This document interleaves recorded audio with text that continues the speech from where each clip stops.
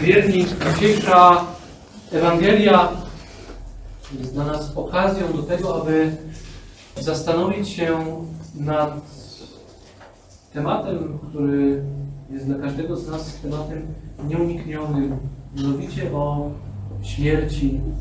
Widzimy w Ewangelii młodzieńca z który umarł, który, którego, którego pogrzeb właśnie się odbywa. I śmierć jest dla nas o tyle przerażająca, że z jednej strony jest czymś pewnym, a z drugim czymś, co jest rzeczą tajemniczą. Dlatego, że nie wiemy kiedy, gdzie, jak każdy z nas umrze, ale każdy z nas będzie musiał umrzeć. Widzimy to w naturze, zwłaszcza teraz, kiedy przechodzimy do tego okresu jesiennego, kiedy cała natura obumiera. Widzieliśmy wiosną, latem, wszystko żyło, a teraz powoli umiera. Tak samo jest z życiem ludzkim. Jest ono bardzo kruche, wystarczy jedno pęknięcie żyły, jeden, jedno uderzenie krwi, zwykły wypadek samochodowy, abyśmy umarli. A tak w ogóle to przychodząc na ten świat, zaczynamy umierać. Każdy jeden dzień jest dniem bliżej śmierci. Kiedy rano wstajemy z nocnego spoczynku, aby zrobić naszą poranną toaletę, kiedy widzimy naszą twarz w lustrze, możemy powiedzieć do siebie, to jest kolejny dzień bliżej do mojej śmierci. Jestem kolejny dzień bliżej do tego, aby zejść ze sceny tego, tego świata. I tak jak mówiłem, śmierć o tyle jest e, przerażająca, że ten dzień, ta chwila śmierci nie jest dla nas pewna. Żaden e, śmierć nie cofnie się przed żadnym wiekiem, przed żadnym stanem, przed żadną majętnością. O tym zresztą mówi nam doświadczenie cmentarza, kiedy idziemy na cmentarz, nie mamy tam do czynienia z datami na nagrobkach ludzi, którzy pomarli dość podeszłym wieku, ale widzimy tam dzieci, widzimy tam młodzieńców, widzimy tam ludzi w kwiecie wieku. I o tym mówi nam Pan Jezus Chrystus. Czuwajcie, bo nie wiecie, kiedy Pan do domu przyjdzie wieczorem, czy o północy, czy w czas piania kogutza. Nikt z nas tego nie wie. Święty Jan Chryzostom mówi, że dlatego Pan Bóg e, ukrył ten dzień naszej śmierci. Nie wiemy, czy będzie on dziś, czy jutro, czy za szereg lat. Dlatego, abyśmy każdego dnia dzięki tej niepewności ćwiczyli się w cnocie. To, że nie wiemy, czy po prostu wsiadając do samochodu po tej mszy świętej nie będzie to nasza ostatnia podróż, to jest dla nas kluczem, aby każdej chwili być przygotowanym, być ozdobionym e, wieloma cnotami. Dlatego, że te konsek konsekwencją, konsekwencja śmierci jest poważna.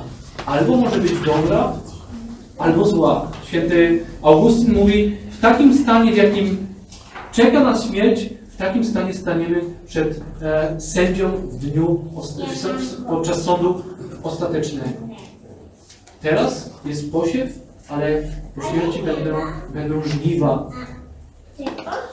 Tak więc ktoś mógłby powiedzieć, a więc po co Pan Bóg tak uczynił? Dlaczego zakrył przed nami ten moment naszej śmierci? W tym fakcie dostrzegamy pewną mądrość. Dlatego, że powinniśmy ze śmiercią się zaprzyjaźnić. Czymś bardzo szlachetnym i rozumnym jest rozmyślanie o śmierci. Dlatego święty Ignacy w swoich rekolekcjach ignacjańskich w tym rozmyślaniu zaleca, aby każdy uczestnik rekolekcji stanął i pochylił się nad własnym grobem. Ujrzał swój grób ze swoim imieniem, swoim nazwiskiem i datą swoich, swoich urodzin. To ja stoję przed moim grobem. I co ja mogę powiedzieć o tym umarłym, którym jestem sam? Czy był pobożny, czy służył Panu Bogu, czy może jest daleko od Pana Boga? Może okrył się hańbą grzechową? I to, drodzy wierni, rozmyślanie nie jest niczym zdrożnym, ale jest dla nas zbawienne. Wszyscy święci, wszyscy mistrzowie życia duchowego mówią nam o tym, że to, to rozmyślanie o śmierci działa cuda, jest dla nas wielkim impulsem do, do życia Bożego.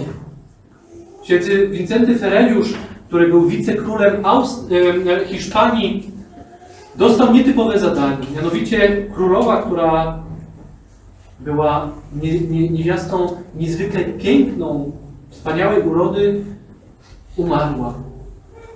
I król Hiszpanii zlecił świętemu Wincentemu jako wicekrólowi, że ma towarzyszyć zwłokom królowej do Francji i po 10 dniach trwania podróży ma podnieść trumny i zaświadczyć, że w tej trumnie rzeczywiście leży ona. Że nie, nikt nie wykradł jej, jej ciała, ale że to ona e, została przywieziona do Francji i pochowana. I tak też się stało po 10 dniach upalnej podróży e, na południu Europy. Święty Wincenty otworzył jego trumny i gdy zobaczył to, co tam się znajdowało, niegdyś e, tę piękną, zachwycającą niewiastę, powiedział, jeżeli człowiek po śmierci tak wygląda, nie chce służyć człowiekowi.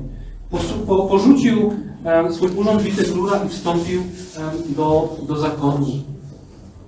Więc widzimy, jak zbawienna jest myśl o śmierci. I dziś niestety, drodzy wierni, etos śmierci został wypchnięty z naszego życia. Pamiętam kiedyś e, w moich stronach e, rodzinnych, skąd pochodził mój tato, e, kiedy osoba jakaś umierała, to pierwsza rzecz, kładziono wieko trumny, opierano wieko trumny o ściany domu, aby pokazać, że w tym domu ktoś umarł że tu trzeba przyjść i modlić się. Trumna była otwarta przez trzy dni domu.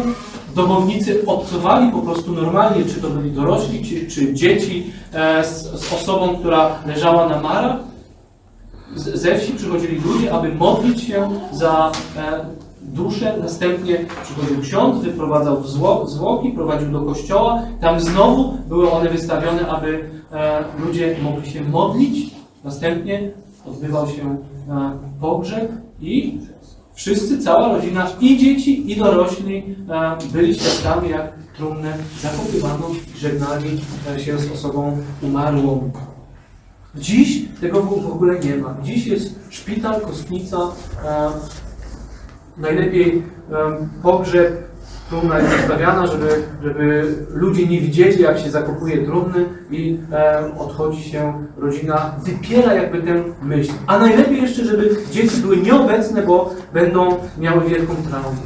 Kiedyś człowiek obcował na co dzień z, ze śmiercią, z tą myślą o śmierci. I to jest dla nas zbawienne. Jako katolików, jako chrześcijan, w tym świetle objawienia Bożego rozmyślać nad śmiercią. I to dzięki temu, że nie znamy tego, nie znamy ani dnia, ani godziny, to powoduje, że, że jest, powinniśmy każdego dnia żałować za nasze grzechy, żyć w ciągłym żalu za grzechy i być cały czas przygotowanym. Przeżyć dzień, jakby to był mój ostatni dzień a poprzeczka jest postawiona wysoko. Pan Jezus Chrystus mówi, bądźcie święci, tak jak wasz Ojciec Niebieski jest święty. Więc mamy być święci. Ale jeżeli nie wiemy, czy ten dzień nie jest ostatni, czy e, kiedy kładziemy się spać, nie, jest to nasza, nie są to nasze ostatnie chwile, nie zostaniemy powołani przed majestat Boży nocą, to musimy przeżyć ten dzień jak najlepiej. Panie Jezu, chcę przeżyć ten dzień, jakby to był ostatni mój dzień. Jeżeli będę powołany nocą przed Twój majestat, muszę zrobić wszystko tego dnia, aby być bliżej Ciebie, aby być coraz bardziej świętym. Jeżeli przeżyjemy, dziękujmy Panu Bogu. Kolejny dzień znowu. Może jest to mój ostatni dzień, a więc muszę zrobić wszystko, aby być blisko Pana Boga. Dlatego święty Augustyn mówi, nie wiemy, dlatego nie wiemy, e, który dzień będzie naszym ostatnim, abyśmy każdy jeden przeżyli tak jak nasz ostatni dzień. Więc widzimy, jak wielki jest to impuls dla naszej pobożności, dlatego, aby starać się być blisko Pana Boga. I kolejny argument, powinniśmy e, być ozdobieni wieloma uczynkami, dobrymi uczynkami. Jeżeli nie jesteśmy pewni, musimy żyć tak, aby jak najwięcej dobrych uczynków mieć e, na koncie. Święty Pan Jezus w Ewangelii Świętego e, Mateusza mówi, póki trwa dzień, jest konieczne, abym spełniał dzieła tego, który mnie posłał. Nadchodzi noc i wtedy nikt nie będzie mógł działać. I rzeczywiście tak jest. Kiedy nadejdzie noc śmierci, nasze życie będzie dokonane. Nie będziemy w stanie już zrobić nic, co, czego mogliśmy dokonać w życiu. To jest to, o czym mówi święty Paweł w dzisiejszej e, lekcji. Czyniąc przeto dobrze, nie ustawajmy, bo czasu swego rządzi będziemy bez wytchnienia. Dlatego póki czas mamy, czyńmy dobrze wszystkim. Póki czas mamy. Ale tak jak mówiłem, nikt z nas nie wie, ile tego czasu. Dzień, dwa, miesiąc, rok, kilkanaście lat. Dlatego każdego dnia powinniśmy starać się, jak mówi święty Paweł, nie ustawać i rządź bez wytchnienia. Co? Rządź dobrym uczynkiem. Uczynki, które zbliżają nas do Pana Boga. Dlatego, drodzy wierni, starajmy się od czasu do czasu rzeczywiście rozmyślać nad śmiercią. Mamy do tego wiele sposobności, czy odwiedzając groby naszych bliskich zmarłych, czy będąc na pogrzebie, czy czytając klepsydrę, sami pomyślmy o naszej, o naszej śmierci, o dniu naszej śmierci. I jeżeli tak będziemy czynili, to rzeczywiście dużo trudniej będzie nam grzeszyć. Księga Mądrości mówi, pamiętaj o Twoich rzeczach ostatecznych, a nie zgrzeszysz. To jest rzeczywiście e, prawda. Ta myśl o śmierci powinna być dla nas impulsem do, do walki, każdego dnia walki o, o naszą świętość, abyśmy rzeczywiście wypełniali te słowa Pana Jezusa Chrystusa, który mówi, powinniście być święci jak wasz Ojciec w niebie. Amen. Ojca i Syna i Ducha Świętego. Amen.